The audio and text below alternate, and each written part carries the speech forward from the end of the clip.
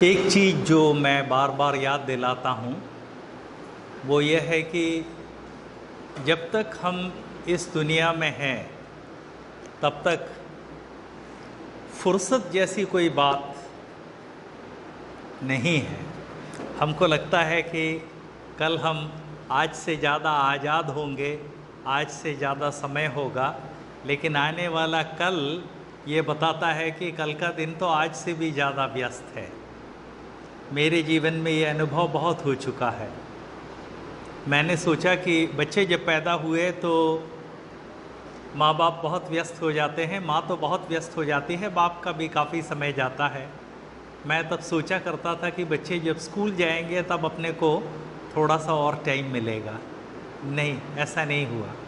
फिर लगा कि बच्चे जब बड़े स्कूल में पहुँच जाएँगे तब अपने को और टाइम मिलेगा। ऐसा नहीं हुआ।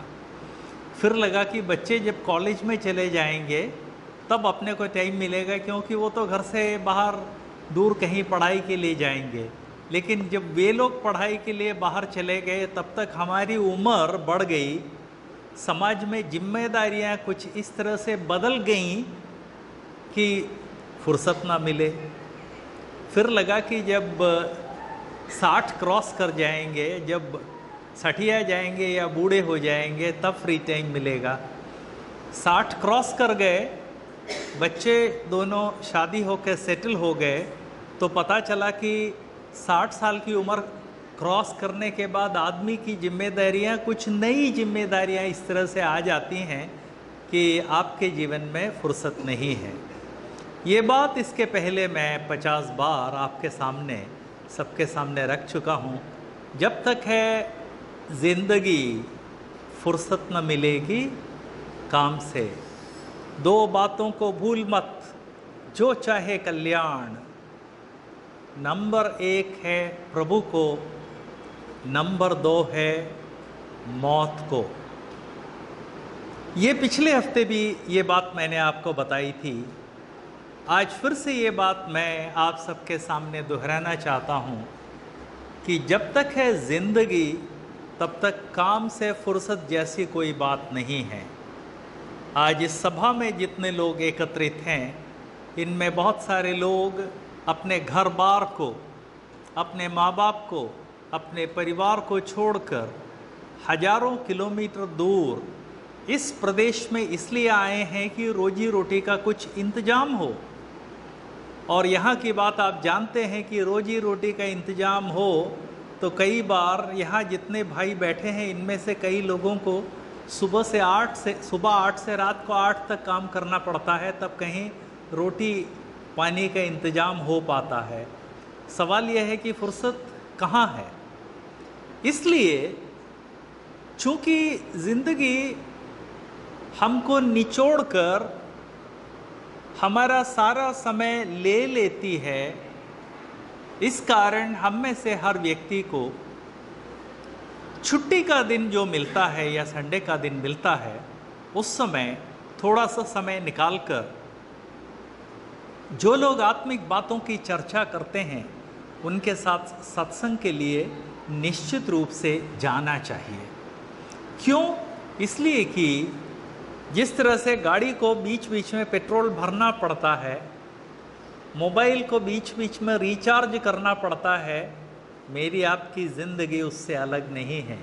मेरी आपकी ज़िंदगी को भी बीच बीच में प्रभु के प्रति जो भक्ति है, प्रभु के प्रति जो प्रेम है, प्रभु के बारे में जो जानकारी है, इन चीज़ों को ग्रहण करके चार्ज करना ज़रूरी है, जिससे कि हमारा आत्मिक जीवन पूर्ण खुशी, शांति, आराम और निश्चय के साथ आगे बढ़ सके। सवाल यह है कि हम में से कोई नहीं चाहता कि हमारी ज़िंदगी बर्बाद हो जाए। कोई नहीं चाहता है। हम में से कोई नहीं चाहता है कि हमारा समय फालतू जाए। हम में से कोई नहीं चाहता है कि हमारा जीवन प्रभु की इच्छा के विरुद्ध हो, कोई नहीं चाहता है। इवन नास्तिक भी नहीं चाहता है। नास्तिक जो ईश्वर के अस्तित्व को नहीं मानता है, वो भी अपने जीवन को नियम और कायदों से बाँध कर रखता है। नियम और कायदों से क्यों बाँध कर रखता है? यदि जीवन में नियम नहीं होंगे, कायदे नहीं होंगे, जीवन में क्रम नहीं होगा तो हमारा जीवन बर्बाद हो जाएगा। अराजक अराजकत्व जिसे बोलते हैं, जहाँ कोई राज नहीं है, जहाँ कोई नियम नहीं है, जहाँ कोई कानून नहीं है, वो अराजकत्व हर चीज़ को बर्बाद कर देता है। तो आज शाम को जो पहला प्रश्न मैं आप सबके सामने रखना चाहता हूँ, वो ये है, हम में से कोई भी व्यक्ति अराजकत्व पसंद नहीं करता है। हम में से हर कोई अमन, चैन, शांति चाहता है। यदि हम में से हर कोई अमन, चैन और शांति चाहता है तो हमको क्यों वो चीज़ मिल नहीं पाती जिसकी हम इतनी अधिक कामना करते हैं? ये प्रश्न पिछले हज़ारों सालों से हज़ारों लाखों चिंतक लोग इस बात के बारे में सोचते रहे हैं। इस बात के बारे में उनको जो उत्तर मिला है, उस उत्तर को लिखते रहे हैं, जिसको हम सब पढ़ सकते हैं, पढ़ने के लिए उपलब्ध है। इस तरह से एक विद्वान जो अपने जीवन के बारे में विस्तार से जानना चाहता था, उस विद्वान ने आज से तीन हज़ार, दो हज़ार साल पहले क्या किया, ये मैं आप आज आपके सामने रखना चाहता हूँ। ये विद्वान यहाँ से हज़ारों साल दूर मध्य पूर्व प्रदेश में, आज हम जिस प्रदेश को इज़राइल कहते हैं, उस प्रदेश में हुए थे। पंडित थे, शास्त्रों के ज्ञानी थे, जनता के बीच में उनका बड़ा आदर और सम्मान था। जहाँ भी जाते थे, लोग उठ खड़े होते थे। लेकिन उस व्यक्ति के मन को एक प्रश्न बहुत अधिक व्याकुल कर रहा था, बहुत मथ रहा था। इस जीवन का क्या मतलब है? इस जीवन में अमन चैन और शांति के लिए मैं क्या करूँ? वो विद्वान किसी से भी जो भी उत्तर दे सकता है उससे पूछने के लिए तैयार था। कई लोग ऐसे होते हैं जो दूसरे की सुनना नहीं चाहते हैं। लेकिन ऐसे कई लोग हैं जो जहाँ भी उत्तर मिले, उस उत्तर को देखने के लिए, सुनने के लिए, जांचने, परखने के लिए और ग्रहण करने के लिए तैयार हैं।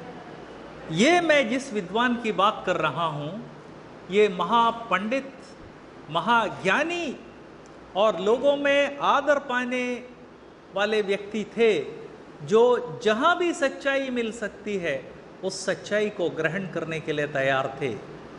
उस महापंडित ने आज से 2000 साल पहले जब प्रभु यीशु की शिक्षाओं को सुना, उनको लगा कि अरे, ये जो प्रभु हैं ये तो सर्वज्ञानी मालूम पड़ते हैं। उनकी वाणी, उसमें कोई विशेष शक्ति है। उनकी बोली हर चीज़ को साफ़ कर देती है, हर चीज़ पर रोशनी डालती है। और इस कारण यदि मैं उस प्रभु से जाकर इन चीज़ों के बारे में पूछूँगा तो मुझे इस बात पर प्रकाश मिल सकता है। बहुत ही व्यस्त व्यक्ति थे, क्योंकि वो न केवल विद्वान या पंडित थे, धार्मिक कार्यों में भी बहुत ज़्यादा व्यस्त रहते थे। न केवल धार्मिक कार्यों में, जब हम उनके इतिहास को पवित्र बाइबल में पढ़ते हैं तो पता चलता है कि एक तरफ़ से अपने अपना पठन पाठन, दूसरी तरफ़ लोगों को सुझाव देना, तीसरी ओर उनके जो आत्मिक उनकी जिम्मेदारियाँ थी वो, और चौथी ओर राज काज में भी उनका थोड़ा बहुत हिस्सा था। उनका, वो जो कहते थे, वो बातें वहाँ चलती थी। तो इन सबसे फुर्सत में एक रात को वे प्रभु यीशु से मिलने के लिए आए। वो जरा तसल्ली से बात करना चाहते थे। जब प्रभु के पास समय हो, क्योंकि दिन के समय तो प्रभु भीड़ से घिरे रहते थे तो रात का समय हो तो प्रभु को भी तसल्ली होगी, इनको भी तसल्ली होगी। ये आसान काम नहीं था। आज से 2000 साल पहले मैं याद दिलाना चाहता हूँ, ना तो बिजली थी, ना आज आज के समान इस तरह के कृत्रिम रोशनी के उपकरण नहीं थे, टॉर्च नहीं था, पेट्रोमैक्स नहीं था। हम में से हर व्यक्ति ने लालटेन का उपयोग किया है गाँव में। उस जमाने में लालटेन भी नहीं होते थे। रात के समय बस बड़े किस्म के मशाल होते थे या बड़े किस्म के दिए होते थे। इसको लेकर अंधेरे में ठोकर खाकर, क्योंकि आज के समान सड़कें भी नहीं थी उस समय, ये विद्वान प्रभु जहाँ पर टिके थे, उस जगह पहुँचे और प्रभु से बात करना चाहते थे। यूहन्ना नामक पुस्तक के तीसरे अध्याय में हम इस तरह से पढ़ते हैं। प्रभु यीशु के चार अनुयायियों ने प्रभु यीशु की चार जीवनियाँ लिखी हैं। इसका कारण क्या है? इस संसार के सृष्टिकर्ता सर्वेश्वर जब मनुष्य रूप धारण करके देहधारी होकर मनुष्य को मुक्ति देने के लिए इस संसार में पधारे तो कोई भी व्यक्ति अपनी लेखनी से उनके व्यक्तित्व को पूर्ण रूप से लिख नहीं सकता है। इस कारण प्रभु ने अपने अनुयायियों में से चार लोगों को प्रेरणा दी कि वे प्रभु यीशु के जीवन और प्रभु की शिक्षाओं के चार अलग अलग पहलुओं के बारे में लिखें।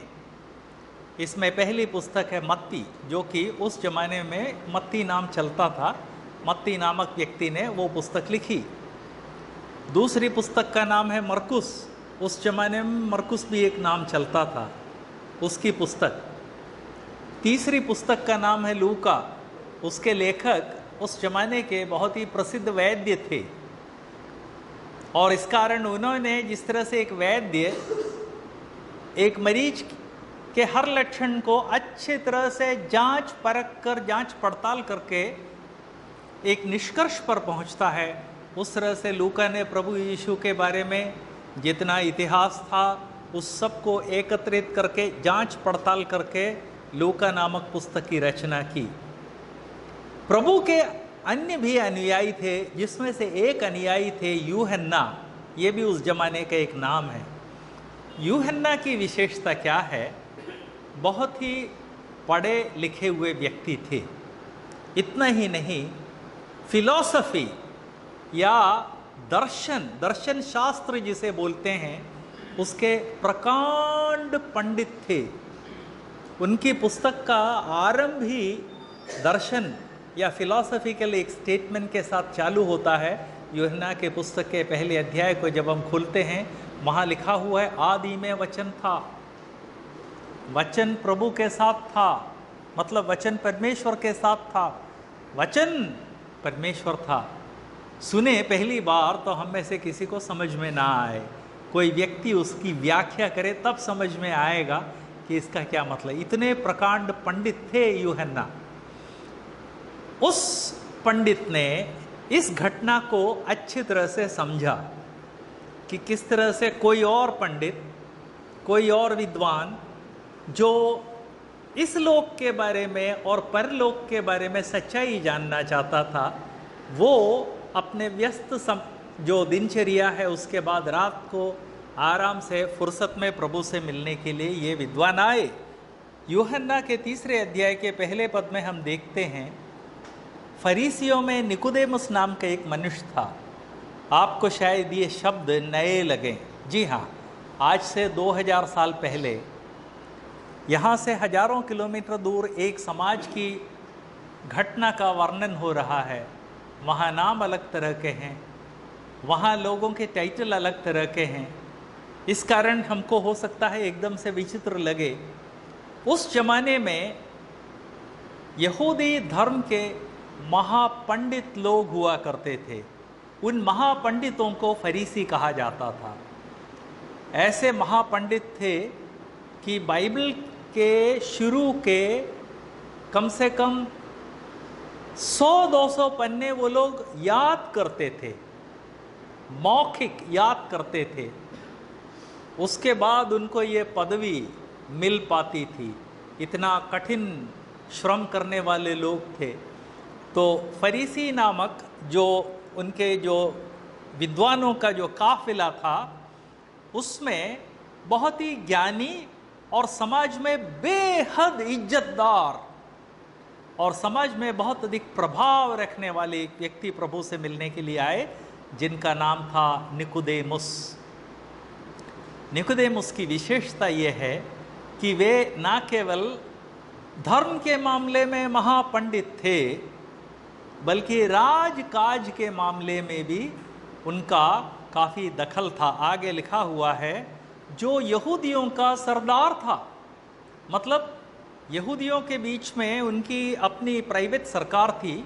वो लोग उस समय रोमी शासन के अंडर थे, गुलाम थे, लेकिन इसके बावजूद यहूदियों की अपनी सरकार थी, जो यहूदी जनता की सारी बातों के बारे में जाँच पड़ताल करके आज्ञा और दिशा निर्देशन देती थी।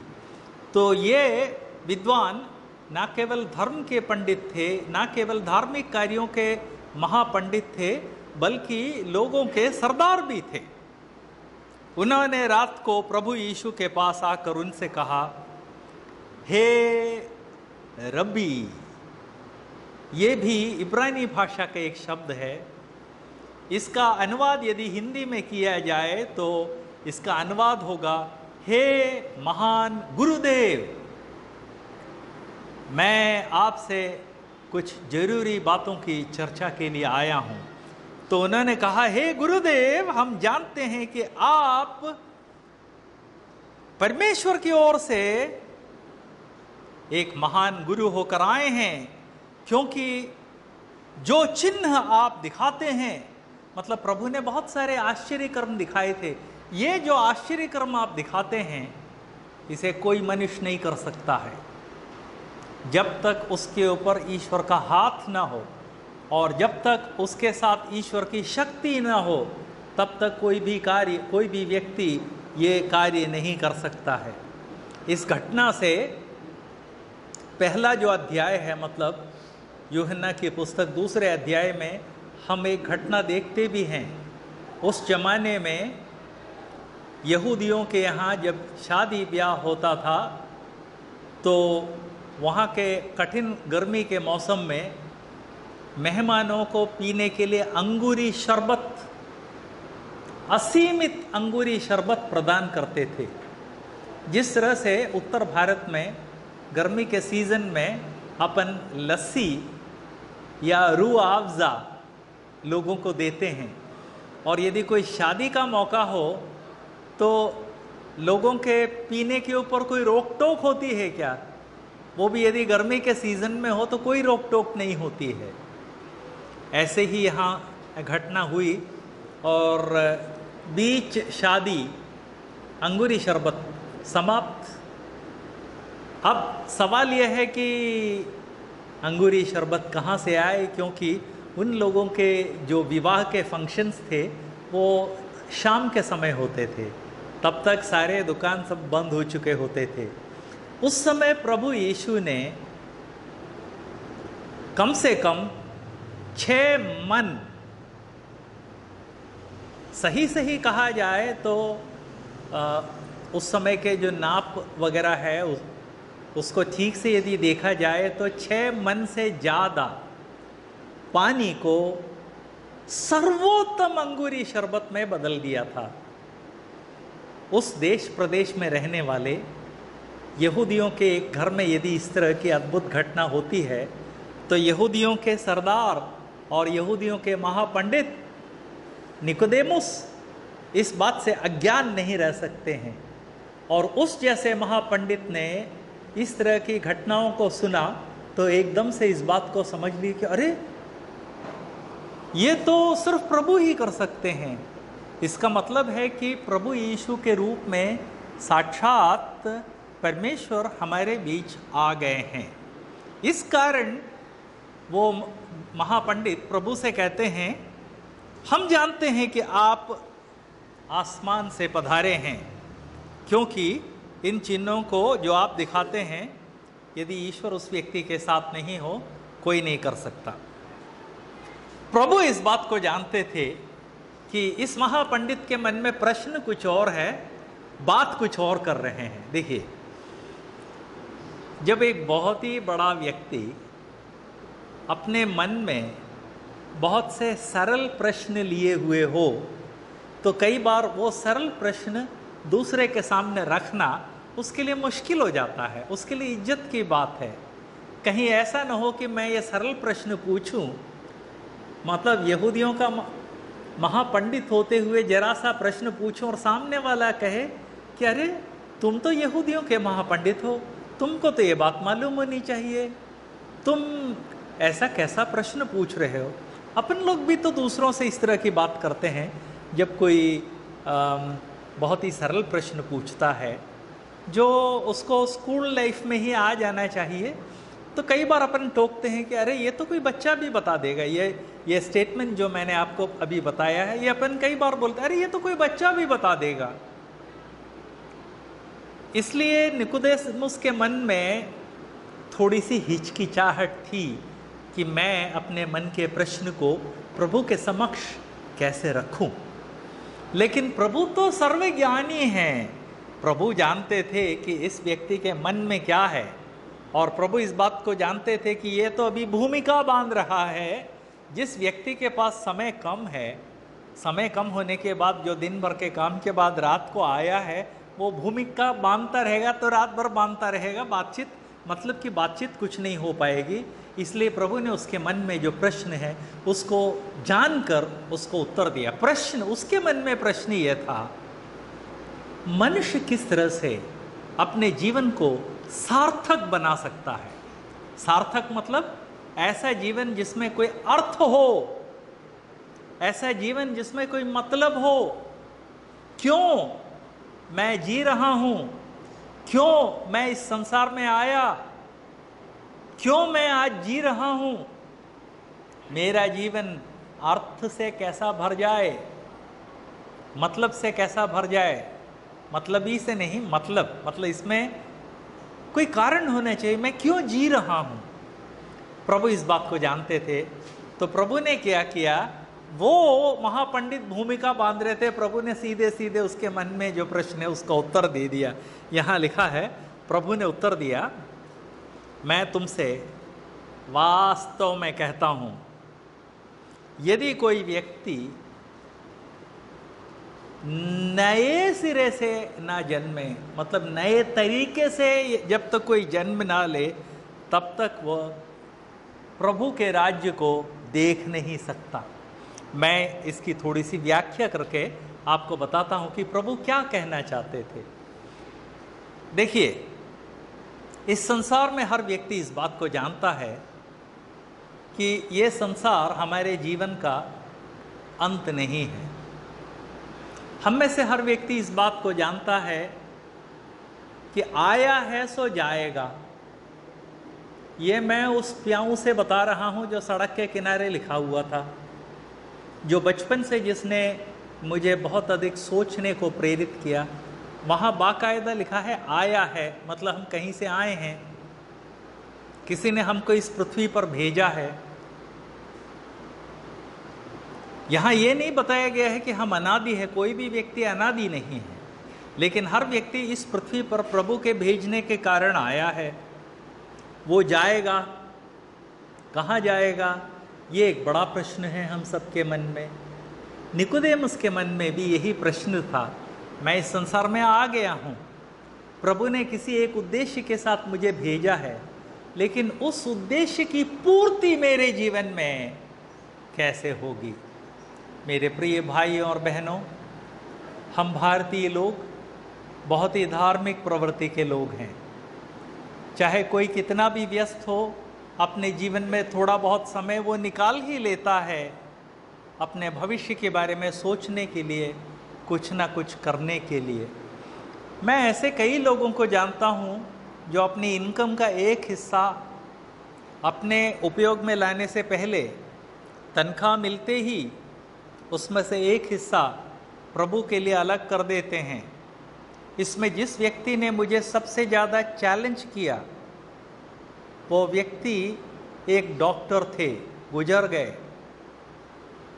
कंधे से लेकर नीचे तक पूरा उनका शरीर पैरालाइज्ड था।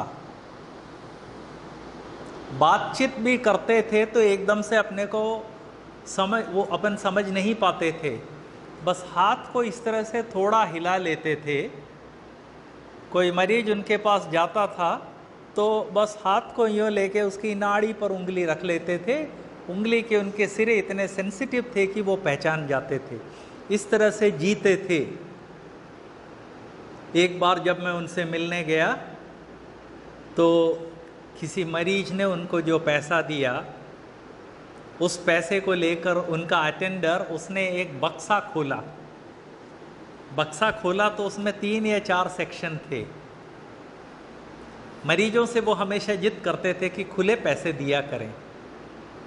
खुले पैसे जो मरीज़ देके गया, उसमें से एक हिस्सा एक खाने में डाला, एक हिस्सा दूसरे खाने में डाला, एक हिस्सा तीसरे खाने में डाला, एक हिस्सा चौथे खाने में डाला। मैं भौचक रह गया।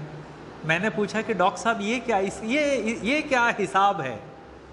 तो उन्होंने मुझे बताया कि, शास्त्री, हम इस संसार में आए हैं, हमको जाना पड़ेगा। और इस कारण जीवन में जो कुछ है उसके लिए सही तैयारी होनी चाहिए। मैं चार या पाँच में बांटता हूँ, उसमें से एक हिस्सा मेरे लिए, एक मेरे परिवार के लिए, एक मेरे भविष्य के लिए और एक ईश्वर के लिए। मुझे ताजुब हुआ कि जो आदमी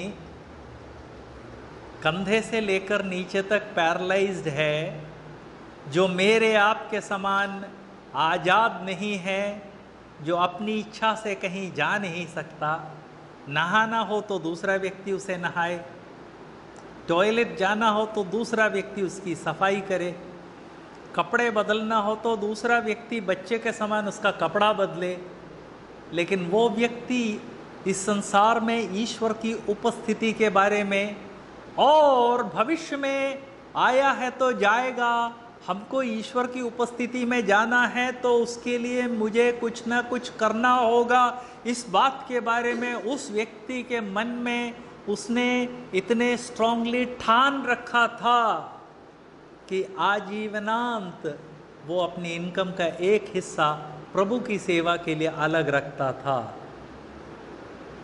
इस संसार में जो भी व्यक्ति आया है वो मनी मन इस बात को जानता है कि आया है सो जाएगा, और जब हम जाएँगे तो जाने से पहले हम कहाँ जाएँगे? इसका निश्चय इस संसार में करना है। इसका इंतज़ाम इस संसार में करना है। ये महापंडित जो प्रभु से मिलने के लिए आए थे, इनके मन में भी प्रश्न यही था। देखिए, चाहे बच्चा हो, पढ़ा लिखा हो, अपढ़ हो अमीर हो या गरीब हो, हर व्यक्ति को ये प्रश्न बहुत सताता है कि मैं कहाँ जाऊँगा। इस कारण प्रभु ने बोला, प्रभु ने उसको बोला, मैं तुमको बोल, बताता हूँ कि तुम स्वर्ग राज्य देखना चाहते हो। तुम जब इस संसार को छोड़ के जाओगे, प्रभु की उपस्थिति में जाना चाहते हो। लेकिन उसके लिए, हर व्यक्ति के लिए एक नए जन्म की ज़रूरत है। महापंडित ये सुन के चकरा गए। वो बोले कि, हे प्रभु, ऐसा कैसे हो सकता है? मैंने तो इन लोगों ने आपस में काफ़ी बातचीत की, जिसके कुछ वाक्य ही यहाँ पर रिकॉर्डेड हैं। तो महापंडित ने प्रभु के सामने अपनी समस्या रखी, है प्रभु, ऐसा कैसे हो सकता है?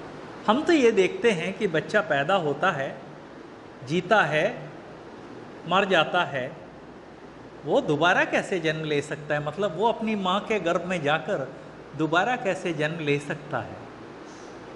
तब प्रभु ने उसको उत्तर दिया, छठे पद में हम देखते हैं, जो शरीर से जन्मा है वो शरीर है। जो आत्मा से जन्मा है वो आत्मा है तब उस महापंडित को ये बात समझ में आई कि प्रभु के कहने का मतलब ये है कि हमारे शरीर में जिस तरह से हमारा जन्म हुआ है, हमारी आत्मा में भी इस तरह का जन्म होना ज़रूरी है। और प्रभु जब कह रहे हैं कि नया जन्म चाहिए तो प्रभु के कहने का मतलब ये है कि जिस तरह से तुमने शरीर में जन्म लिया, उस तरह से आत्मा में एक नया जन्म लेना ज़रूरी है। काफ़ी देर तक इन दोनों की में वार्तालाप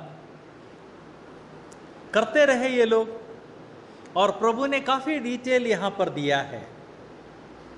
और वो डिटेल इस पूरे अध्याय में हम कुल 21 श्लोक शुरू के 21 श्लोकों में देखते हैं, जिसमें जब पहली बार में उसको ये बात समझ में है कि शरीर में मैंने जन्म लिया है अब आत्मा का जन्म भी ज़रूरी है तो उस विषय के बारे में उन्होंने और भी बहुत सारी बातें पूछी।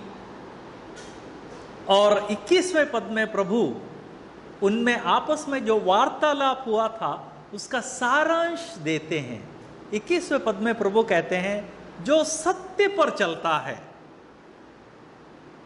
वह ज्योति के निकट आता है। ज्योति का क्या मतलब है? सर्वशक्तिमान ईश्वर सर्वशक्तिमान ईश्वर है ज्योति। जो सत्य पर चलता है, वो ज्योति के निकट आता है। जिससे कि उसके काम प्रकट हो कि वो परमेश्वर की ओर से किए गए। इसका क्या मतलब है? प्रभु के कहने का मतलब ये था, प्रभु ज्योति हैं। मैं देहधारी ईश्वर हूँ। मतलब ईश्वर मनुष्य रूप धारण करके मैं इस संसार में, इसलिए मैं ज्योति हूँ। तुम सत्य पर चलोगे तो तुम इस बात को समझोगे कि मैं ज्योति हूँ। तुम मेरे निकट आओगे। और जब तुम मेरे निकट आओगे, तब तुम इस बात को पहचान जाओगे कि मैं वहाँ से यहाँ आया हूँ। किस लिए आए हैं? इसका भी यहाँ वर्णन है। देखिए, दो महापंडित जब एक दूसरे से बात करते हैं तो जिस तरह से मैं और आप बात करते हैं, आदि मध्य अंत इस तरह से नहीं बात करते हैं। इस बात को हम अच्छी तरह से समझें। दो महापंडित एक दूसरे के साथ बात करते हैं तो वे तमाम तरह के विषयों की चर्चा करते हैं। इसलिए जो अंत में आना चाहिए, कई बार वो आरंभ में आता है। जो आरंभ में आना चाहिए, वो कई बार अंत में आता है। और जो अंत में है, वो मिडिल में आता है। इस तरह से होता है। महापंडित निकुदेमुस संसार के सृष्टा प्रभु यीशु जो ज्ञान है जो स्वयं ज्ञान है जिनके बारे में यूहन्ना ने लिखा था कि आदि में वचन था वचन परमेश्वर के साथ था वचन परमेश्वर था प्रभु सर्वज्ञानी हैं तो जब वो सर्वज्ञानी दुनिया के महापंडित से बात कर रहे थे तो बातचीत, मैं और आप जिस तरह से बात करेंगे, इस तरह से नहीं होगा, इसको जरा याद रखें। तो प्रभु ने अंत में बोला कि देखो, जो सत्य पर चलता है, वो ज्योति के पास आता है मतलब मेरे पास पहुँच जाता है। और जब मेरे पास पहुँच जाता है तो वह इस बात को पहचान जाता है कि मैं स्वर्ग से देहदारी होकर इस संसार में इसलिए आया हूँ कि मैं तुमको रोशनी दे सकूँ, मैं तुमको एक नया जीवन दे सकूँ। सोलहवें अध्याय में ये बता, सोलहवें श्लोक में ये बताया गया है कि यह नया जीवन कैसे मिलेगा। यही मैं बोल रहा था। आप भी पूछेंगे कि, शास्त्री सर, आज आपको क्या हो गया? पहले आप आप तो जनरली पहला पद पढ़ते हैं, दूसरा पढ़ते हैं, तीसरा पढ़ते हैं, चौथा पद पढ़ते हैं, पांचवा पढ़, पढ़ते हैं। आज क्या हो गया? आप पहला पढ़ रहे हैं, उसके बाद सोलह पढ़ इक्कीस पढ़ रहे हैं, फिर सोलह पे। देखिए, मैं निकोदेमस के समान ना तो महाज्ञानी हूँ, ना महापंडित हूँ। तो जब मैं आप लोगों से बात करता हूँ तो बिल्कुल उसी तरह से बात करता हूँ। लेकिन आज हम दुनिया के एक महापंडित, दुनिया के सृष्टा के साथ चर्चा कर रहे हैं, उसका अध्ययन कर रहे हैं। उन लोगों ने क्रम से बात नहीं की। पहले एक विषय, उसके बाद दूसरा, फिर पहला, उसके बाद तीसरा, उसके बाद पांचवा, उसके बाद चौथा, इस तरह से बात की। इसलिए अब मैं आपको वापस सोलहवें पद में ले जाना चाहता हूँ। सोलहवें पद में लिखा हुआ है क्योंकि मनुष्य के सृष्टा परमेश्वर ने इस संसार से इतना प्रेम किया कि उन्होंने अपना एकलौता पुत्र दे दिया। प्रभु अपने स्वयं के बारे में कह रहे थे। इसके पहले मैं आपको बता चुका हूँ, परमेश्वर, मनुष्य के सृष्टा, पिता, पुत्र, पवित्र आत्मा, तीन व्यक्ति हैं, लेकिन एक ईश्वर है। इसको त्रिएकत्व कहा जाता है। इसका थोड़ा सा डिटेल इसके पहले हमने देखा था। आज उस डिटेल में नहीं जाएँगे। लेकिन जब हम त्रिएक प्रभु के बारे में चर्चा करते हैं, तब प्रभु को हमेशा पुत्र कहा जाता है। तो पिता ने संसार से ऐसा प्रेम किया कि उन्होंने अपने एकलौता पुत्र दे दिया। मतलब पिता ने प्रभु यीशु को इस संसार में भेजा, क्यों पिता इस संसार से प्रेम करते हैं? ताकि जो कोई उस पर विश्वास करे, इस संसार में कोई भी व्यक्ति यदि प्रभु यीशु पर विश्वास करे तो वह नष्ट ना हो, बल्कि शाश्वत जीवन पाए, ऐसा जीवन जो कभी समाप्त ना हो। यही तो निकदेमस का प्रश्न था, जो पूछने से वो हिचकिचा रहा था। तो इसलिए प्रभु ने पहला उसको जवाब दिया कि देखो, नया जन्म ज़रूरी है। प्रभु ने आखिरी जवाब क्या दिया? रोशनी, तुम सच्चाई की खोज करो, रोशनी के पास आओ। इस बीच प्रभु ने यह संदेश दिया कि देखो, पिता ने इस संसार में सब लोगों की रक्षा करने के लिए, सब लोगों को मुक्ति देने के लिए, सब लोगों को उद्धार देने के लिए मुझे पुत्र को इस संसार में भेजा, जिससे कि जो कोई पुत्र पर विश्वास करे, वो कभी भी नष्ट ना हो, शाश्वत जीवन पाए। मैं आज शाम को यहाँ जितने भाई और बहन एकत्रित हुए हैं, उन सबको ये बात याद दिलाना चाहता हूँ। यह शाश्वत जीवन मनुष्य को देने की कोई ज़रूरत नहीं थी। लेकिन प्रभु ने इस संसार से इतना प्रेम किया, पिता ने इस संसार से इतना प्रेम किया कि वे नहीं चाहते थे कि इस संसार में कोई भी व्यक्ति नष्ट हो जाए। इसीलिए यहाँ लिखा है जिससे कि कोई भी व्यक्ति नाश ना हो, नष्ट ना हो जाए, उसको शाश्वत जीवन मिले। उसके लिए प्रभु ने अपने पुत्र, प्रभु यीशु को मनुष्य रूप में इस संसार में भेजा। तैतीस साल वे इस संसार में रहे। उस तैतीस साल के आखिरी तीन, साढ़े तीन सालों में उन्होंने बारह शिष्य कर लिए और भी बहुत सारे शिष्य उन्होंने चुने। उन सबको शिक्षा दी, उनसे कहा, जाओ, सब लोगों को ये शिक्षा दो। उसके साथ साथ प्रभु ने एक बात और कही थी। देखो, मैं इस संसार में आया हूँ, तुमको लगेगा कि मैं कोई धर्म चालू करने के लिए नहीं। मनुष्य की ज़रूरत धर्म नहीं है, मनुष्य की ज़रूरत मुक्ति की है। और हर धर्म के व्यक्ति को मुक्ति की ज़रूरत है। इस कारण प्रभु ने कहा, मैं यहाँ इस संसार में ना तो धर्म, कोई नया धर्म चालू करने के लिए आया हूँ, ना ही कोई नई राजनीतिक पार्टी चालू करने के लिए आया हूँ। मैं इसलिए आया हूँ कि इस संसार में जितने लोग हैं, सब मुक्ति पाएँ, सब उद्धार पाएँ। कई बार शिष्यों ने प्रभु से पूछा, प्रभु, जरा इसका मर्म तो बताइए कि आपके द्वारा उद्धार कैसे पाएँगे? इसी पुस्तक में इस तरह के प्रश्न हम देखते हैं। जिसका उत्तर प्रभु ने डिटेल में दिया कि देखो, इस संसार में जिसने भी जन्म लिया है, वो पापी है। चूँकि वो पापी है, इस कारण बिना सिखाए ही वो झूठ बोलता है, बिना सिखाए ही वो हिंसा करता है। इसलिए हर व्यक्ति को उस पाप से छुटकारे या मुक्ति की ज़रूरत है। उसके बाद प्रभु ने यह बात भी बताई कि कोई भी मनुष्य अपने आप को ना तो छुटकारा दे सकता है, ना मुक्ति दे सकता है। इसी कारण तो हर व्यक्ति अच्छा जीना चाहता है, लेकिन इसके बावजूद दुनिया में बुराई बुराई है। और यहाँ जितने लोग बैठे हैं, सब लोग जरा ईमानदारी से बताए, दुनिया में भलाई बढ़ रही है या बुराई बढ़ रही है? हम इस, हम सब जानते हैं इस बात को कि दुनिया में बुराई बढ़ रही है। क्यों बढ़ रही है? इसलिए कि मनुष्य उसका हाल अपने आप नहीं कर सकता। प्रभु ने बताया कि देखो, इस संसार के जितने लोग हैं, जो पैदा हुए थे, जो इस संसार में हैं और जो आने वाले हैं, उन सब के पापों के लिए मैं सूली पर अपना जीवन बलिदान के रूप में अर्पित करूँगा।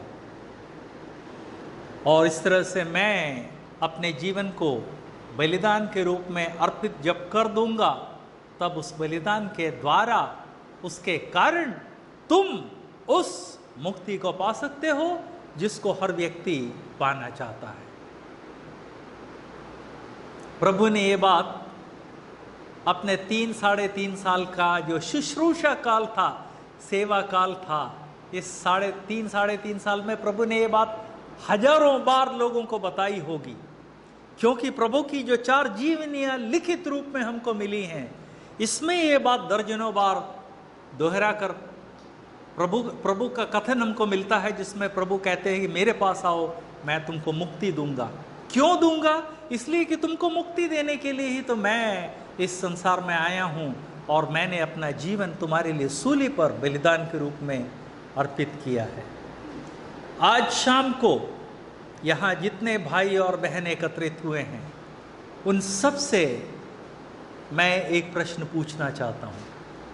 मेरे प्रिय भाई मेरी प्रिय बहन, आप अपने घर से हज़ारों किलोमीटर दूर प्रदेश में सुबह से शाम तक परिश्रम करते हैं, अपने परिवार को भूलकर, अपने माँ बाप को छोड़कर, अपने भाई बहनों को छोड़कर, अपने शायद बच्चों को परदेश, वहाँ छोड़कर, अपने बीवी बच्चों को छोड़कर परदेश में मेहनत कर रहे हैं। क्यों? आप कहेंगे कि, शास्त्री सर, रोटी, कपड़ा और मकान। सही बात है, बिल्कुल सही बात। लेकिन मेरा एक प्रश्न है, मनुष्य का काम सिर्फ़ रोटी, सिर्फ़ कपड़ा और सिर्फ़ मकान से चल जाता है क्या? नहीं चलता है। मनुष्य को इस लोक के साथ, परलोक के बारे में भी सोचना होगा। उस लोक में मेरा क्या होगा, उसके बारे में सोचना होगा। इस कारण आज रात को मेरा प्रश्न है आपसे। क्या आपने अपने भविष्य के बारे में सोचा है? आप कहेंगे, शास्त्री सर, अभी तो मैं जवान हूँ। मैं आपसे एक बात पूछना चाहता हूँ। जवानों की जीवन की कोई गारंटी है क्या? अरे, किसी अस्पताल में चले जाइए, किसी डॉक्टर से पूछ लीजिए कि आपके कई मरीज़ जो गुजर जाते हैं उसमें सिर्फ़ बूढ़े ही बूढ़े हैं क्या? वो डॉक्टर आपको बताएगा कि जी नहीं, महाशय, बहुत सारे बूढ़े मरते हैं, लेकिन मध्य वयस्क लोग भी मरते हैं, जवान लोग भी मरते हैं, और वो ये भी कहेंगे, मुझे सबसे ज़्यादा दुख होता है जब मैं आधुनिक विज्ञान, आधुनिक मेडिसिन के होते हुए भी कई बार शिशुओं को भी गुजर जाते देखता हूँ। इस कारण यदि आपको लगता है कि मैं तो अभी जवान हूँ, मैं 10-20 बात साल के बारे में इस, साल के बाद इस बात के बारे में सोच, सोचूँगा तो मैं आपसे एक प्रश्न पूछना चाहता हूँ। हम में से कौन है जो इस बात को बता सकता है कि हम कितनी उम्र तक जिएँगे? कोई नहीं बता सकता है। जिस व्यक्ति के बारे में कहा जाता है कि वो 25 साल की उम्र में धाराशायी हो जाएगा वो सौ साल की उम्र में गुजरता है। और जिसके बारे में लगता है कि वाह वाह, हट्टा कट्टा हरकुलस के समान है, ये तो 200 साल जिएगा, वो 20 साल की उम्र में ही यहाँ से चला जाता है। इस कारण यदि आपको लगता हो कि कल सोचेंगे, कल कभी नहीं आता है। हिंदी में कहावत है, कल कभी नहीं आता है। हमारे जीवन में सिर्फ़ आज का दिन है। एक कल था वो गुजर गया, उसके बारे में अब हम कुछ नहीं कर सकते। एक कल है, वो कल हम कभी नहीं आएगा। हमारे जीवन में सिर्फ़ एक चीज़ की गारंटी, आज। आज के मामले में भी सिर्फ़ इस बात की गारंटी अभी। और इस कारण मेरा प्रश्न है, आपने अपने भविष्य के बारे में सोचा है क्या? आपने इस बात का निश्चय कर लिया है क्या कि आपने प्रभु यीशु के द्वारा मुक्ति पाई है, उद्धार पाया है? यदि नहीं तो मेरा अनुरोध है, अपनी जगह बैठे बैठे, मनी मन, प्रभु से कहिए कि, हे प्रभु, मैं इस बात को आपके वचन के द्वारा पहचान गया हूँ कि मैं पापी हूँ। मैं अपने स्वयं का उद्धार नहीं कर सकता। लेकिन मैं आपके वचन के द्वारा इस बात को भी समझ गया हूँ कि आपने संसार में आकर मेरे लिए अपना जीवन दिया, बलिदान दिया सूली पर।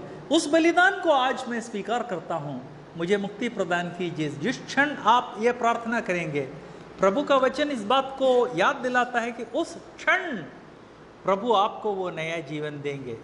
मैं इसके पहले कई बार बता चुका हूँ, मेरे जीवन में एक ऐसा मौका आया था, जब मैंने अपने पिताश्री से पूछा कि, पापा, मैं मृत्यु के बाद स्वर्ग जाना चाहता हूँ, क्या करूँ? मेरे फादर ने ये बात मुझे बताई, मैंने उसी क्षण बिना हिचकिचाए प्रभु को मुक्तिदाता के रूप में ग्रहण किया।